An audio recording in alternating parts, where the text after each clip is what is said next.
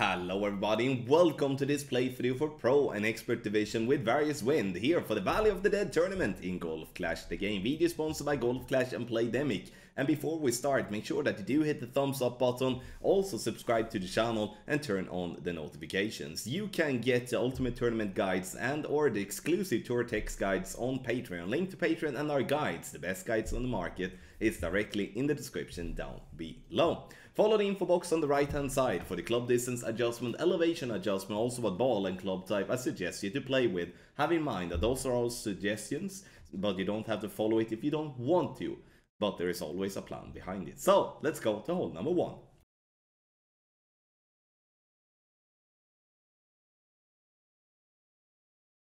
Hole number one, and we're gonna use the right hand side here. This because this is the best possible chance for us to make an eagle. So I'm gonna add six top spin and two left spin, and I'm gonna focus on having my ball guideline pointing towards the top right bunker. I'm starting at max distance as well, and as you can see that I'm adjusting maximum distance plus 10. I'm not pushing to max by any means, so I'm going to center the ball and hit perfect. You will notice in the info box to the right that I do suggest to play with an Apocalypse. What I mean with that is that I would like you to play with a club that do have 6 bars of topspin. Preferably it will be an Apocalypse level 3 plus, but an X-Mile level 8 would work, but also a higher level Thor's Hammer. Second shot, we're gonna play with a Thorn, and the reason I would like to play with a Thorn is because we um, we often get this one upgraded a little bit quicker than the Hornet. A click of backspin, which is approximately half a bar with the ball guideline to the hole. Uh, with the wind angle like this, you have to zoom in a lot or the trees will be a problem. 20% elevation through distance number is what we're looking for. Adjustment is done and then the only thing that we shall do here now is to hit perfect. A perfect ball with this approach will be a good chance, but hole number one here is finicky due to bouncing on that uphill slope. You can see how high the second bounce will be, which means that that bounce will be affected a little bit more uh, by the wind than normal second bounces. So we need to have that in mind, but good start with an eagle on hole number one.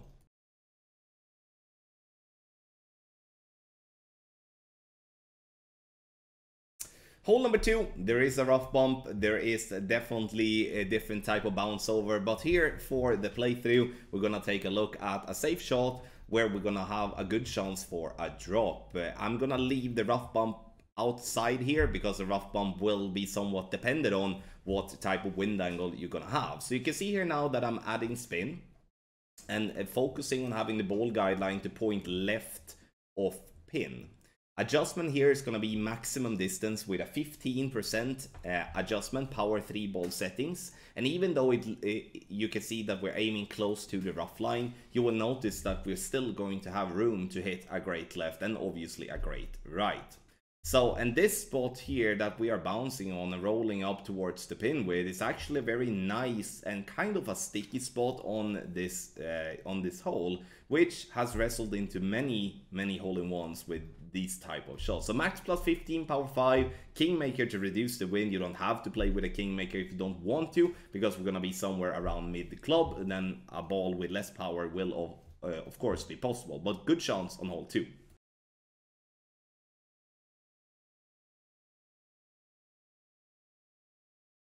On hole number 3, we're gonna play into one of the absolute biggest funnels that we do have in the game, and you will notice that when we do play the second shot. But first, 5.8 bars of top spin and 3 right spin, and we don't want to use more than 5.8 because now we're getting ourselves into a very good distance with that amount of top spin.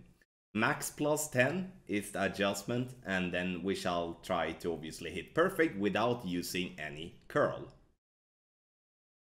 Perfect ball, which is nice, and we're getting this ball to be on the right side of the fairway, and that is something that is very important to get yourself more to the right, which will open up and make the funnel easier to play into on the second shot. The more left you are, the tougher it will be to find it. So, instead of going with the first bounce on the fairway, we're gonna go with the first bounce into the rough. Look at this funnel here.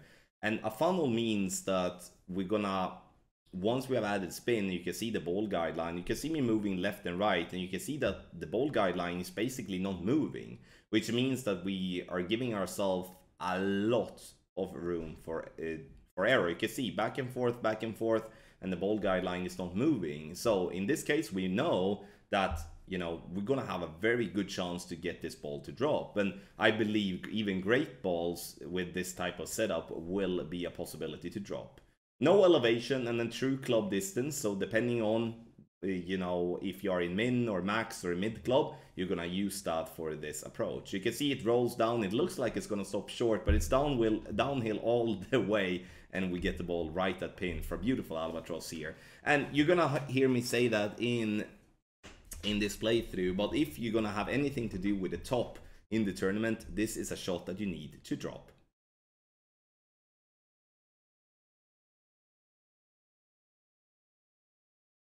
Hole number 4 has always been a tough par 3 to manage to consistently drop, but the way to play this hole is by using the rough bump. And when playing from second tee in tailwind, we're gonna play with uh, Goliath because Goliath is only long iron that gives us the top spin and also a decent ball guideline. Three left spin and whatever top spinner gets the ball guideline to be, in this instance, two, uh, two green squares short of hole with Goliath level 7. Have in mind, Goliath level, and, um, Goliath level 9 has a better ball guideline and also Goliath level 8 has a slight better ball guideline as well. So we need to have that in mind when we set up our shot. Max plus 20, power 3 ball settings, and I'm using a Kingmaker to reduce the wind as much as possible here. Obviously, a bad adjustment and a great left may put the bunker in play, but if you adjust it properly and hit great left, you will still be safe from that bunker and obviously great right will be, will be safe as well where a perfect will be a chance to get a drop. Again hole number four is a tough one but it's definitely a makeable one since we found out this rough bump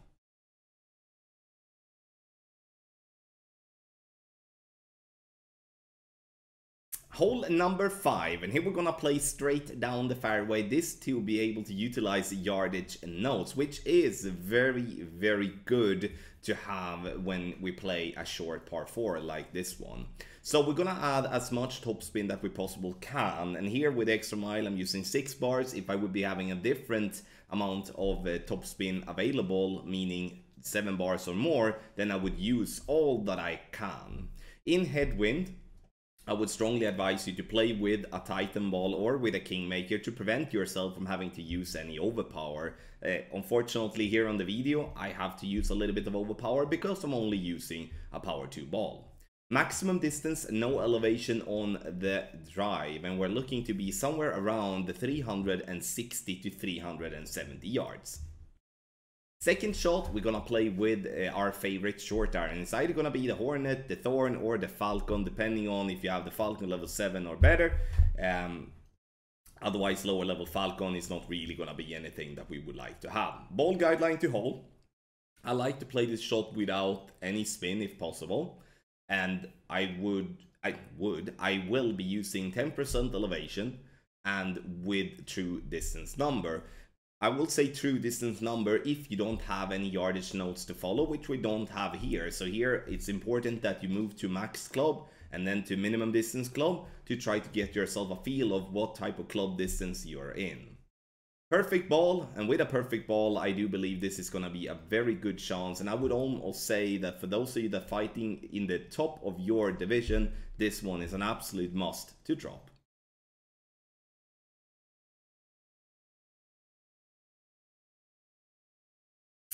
Hole number 6. This is, regardless of what wind direction we have, a super boring par 5 in my opinion. I'm gonna explain more about that after we've gone through the shot. So, here I'm starting with uh, 5.8 bars of topspin and 2 right spin. Ball guideline to be centered down the fairway, very important. Adjustment is going to be max plus 10 power 5 and you can see that I do play with an Apocalypse. I would recommend to play with the driver that gives you the most power and top spin together. After that has been done, we're gonna go full blast overpower with no uh, push-up. So we're gonna have a slow needle, which is gonna make it easier for us to hit perfect. even though I do hit a great uh, there, it is still going to be safe. But again, it is going to be easier in general to hit perfect with that type of play. Now for the second shot, we're gonna be prepared with our Cataclysm, and here uh, now comes, you know, the real tricky thing here. Here we could have played with a sniper and backspin towards the pin, but I like to play this rough bump as it kind of ensures me to be always around the pin in some way, and it also, in my opinion, the best chance to make an albatross. Due to the great left on the drive, it puts me to aim pretty close to the bunker, but with a perfect or a great right, we will have lots of room for the bunker on the left there. 20% elevation, even though we're not sorry, we are not in max distance of our club, obviously we shall not use max number, but it's more common to be in max distance than it is to be in mid distance on this hole. It's only when we do have a tailwind, when getting into around mid distance is gonna be the most frequent thing to do. But 20% elevation, very important that you do use that with true club distance, and again, not really close to an albatross, but we're getting down there and getting ourselves an easy eagle.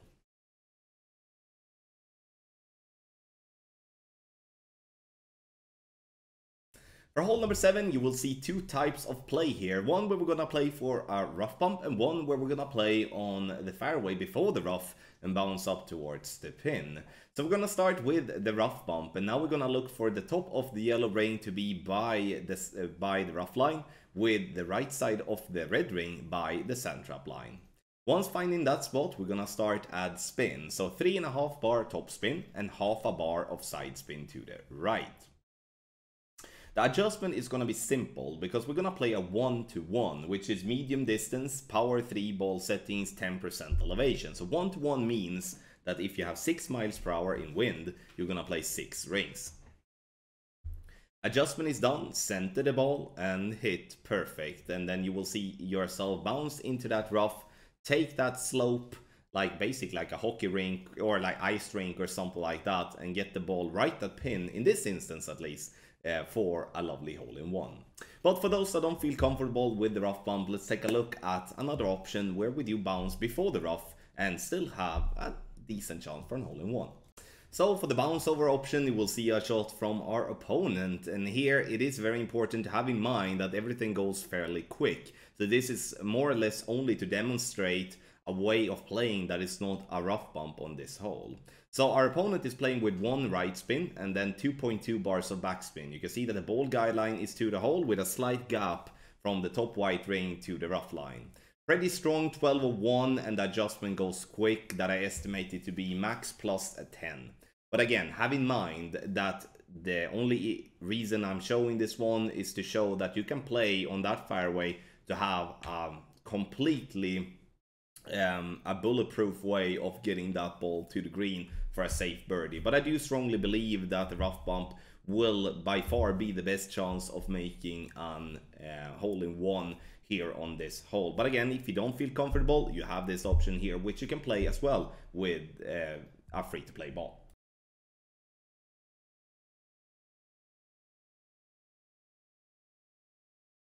Hole number 8, I will give you two versions here, because depending on what wind we're gonna have and what clubs we have, we can play with tailwind in two different ways. But we're gonna start here by playing on the right hand side, and when I do have tailwind, and don't want to blast to green, then I'm using the big topper. Even if I would be having the big topper in a level such as level 3 or level 4, I would still use the big topper because I can still push up after I made my adjustment. Max plus 10 is uh, the club distance and elevation to use. Max topspin is what we're using as spin. And then you could see in the video I pushed up to max because the idea here is to get the ball to roll as far down the fairway possible without obviously rolling into the rough. We maybe could have started a little bit more to the left based on where we ended up there on the fairway. Now, second shot, we're gonna play with almost a straight tailwind to pin. I would say it's very important here to look for the spot that kind of makes the ball guideline kind of jump massively to the right which is a very it's a glitchy spot. I don't know why that becomes because it looks flat but look for that spot try to position yourself left of that spot so you avoid having the first bounce there and that would definitely cause you to miss the shot So I'm using a little bit of left uh, right spin and no backspin whatsoever. Ball guideline slightly short of hole and the reason I wanted to have it short of hole is due to the fact that we do have a tailwind and the ball will come in a little bit hotter than what we do go in crosswind or headwind. 20% elevation and then true club distance number and unfortunately here we have the ball to miss on the right hand side but that could definitely be explained based on the 1201 pull angle that I had there on my pull and uh, so try to avoid that and try to have a straight pull and this with a safe option here on hole 8 will definitely be a good chance. But me personally I love a blast. I love a good blast especially tailwind at this hole. I do believe the last is definitely the best way to go with it. So let's take a look at that one for option number two, we're gonna blast this ball to green, or at least that's the idea with it. So we need to have six bars of topspin here, and we want and need to play with a power five ball. So we're gonna use a berserker ball to try to boost up the wind a little bit. I would say a wind zero ball, such as a snow globe or something like that, wouldn't be bad either. So six topspin, ball guy, guideline you can see pointing left of flag, but also left of the right side rough. Adjustment is going to be max plus 10. Once that is done, we obviously need to push up to max here because we do need to gain as much distance possible here with the overpower. Center the ball and go full blast overpower and I would say try to hit perfect or a great left. A perfect ball here could clip the rough with the second bounce if you are unlucky. That's mainly because you are, if so, um, you know, aiming too far to the right, but in most of the cases, the ball would end up approximately here. Obviously, those of you that do play in Moss, sorry, in Expert will have a higher wind with a, uh, with a Berserker, which obviously will make the ball carry a little bit further, which will help for the second shot. Now, second shot is going to be a wedge. Here you can see that I'm using max top spin. However, I would recommend to play this one EB school wise if you know that method, which is 20% EB school from with a wedge, but it is with no spin. Obviously, if you don't feel comfortable with that, the best way is to go with max top spin and try to align the ball guideline with the wind, try to minimize the flight time and have, you know, a less adjusted wedge to shoot. In this case, I'm a little bit lucky getting this ball right the pin for a beautiful eagle here with Send It. So again, two options here on hole number 8, uh, both of them with tailwind as a wind angle.